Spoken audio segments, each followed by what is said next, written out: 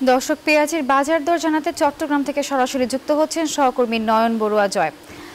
জয়, মশলার দাম বাড়ছে কেন? সংশ্লিষ্টরাই বা কি বলছেন? আজ পেঁয়াজের দাম কেমন দেখছেন আপনি?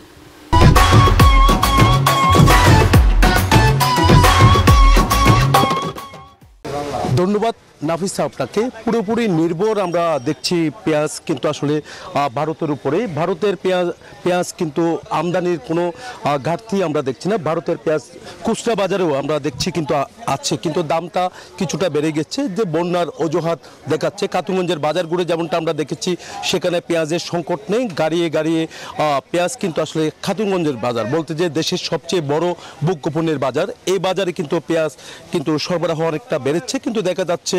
আর দেশীয় পেঁয়াজের চেয়েও কিন্তু আমদানি করা যে পেঁয়াজ, সেই পেঁয়াজের দাম কিছুটা কম আছে। আবার দেশে উৎপাদিত যে পেঁয়াজ, সে পেঁয়াজও কিন্তু বাজারে আমরা দেখছি। কিন্তু সত্তর টাকা থেকে আবার খাতুগঞ্জের বাজারে পঞ্চান্ন টাকা, ষাট টাকা এর মধ্যে বিক্রি করা হচ্ছে। তবে খুচরা বাজারে কিছুটা বেশি যে বাজার পাইকারি বাজার আর খুচরা বাজারের মধ্যে একটু তফাৎ দেখা যাচ্ছে। তবে কিছুদিনের মধ্যে পেঁয়াজ, পেঁয়াজের সরবরাহ আরও বাড়বে এমন কথা আমাদেরকে জানিয়েছেন যারা পাইকার আছে তারা জানিয়েছেন। তো একই সাথে আমরা দেখছি রসুনের দামও কিন্তু দেখা যাচ্ছে অনেক বেড়ে গেছে। দুশো টাকা কেজি তারা বিক্রি করছেন, আদার দামও বেড়ে গেছে। একই সাথে শুকনো মরিচের দাম সবচেয়ে বেশি বাড়তি দেখা যাচ্ছে, তবে বাজার মনিটরিং নিয়মিত থাকা দরকার খুচরা বাজার আর পাইকারি বাজার।